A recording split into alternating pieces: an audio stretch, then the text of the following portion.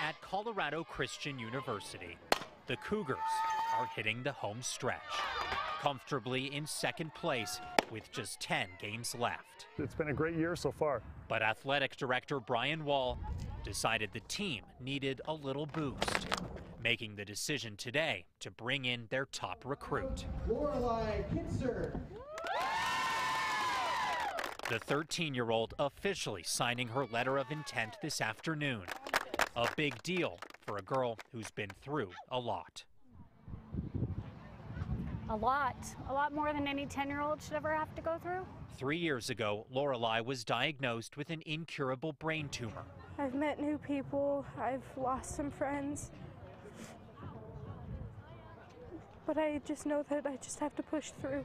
Today's signing, part of a partnership with Team Impact, which uses sports to help kids facing serious illnesses. For the rest of the season and beyond, Lorelei will attend practices and games, a real member of this team. It's pretty cool. Um, I guess I just never really kind of thought that this would ever be able to happen. Because when I was first diagnosed, they always told me I wouldn't be able to play sports for a while. Lorelei says she's actually never played softball, but is quickly learning to love the sport. With teammates like this, Love you! Hang in there! You're all good. it's not hard to see why. These girls have already taken her in and and done so much for her and been that that team that she's not known before. We put our little like cougar claws in. Oh, that's a lot to ask of a college girl.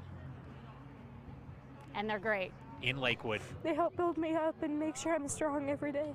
Evan Kruegel, Fox 31.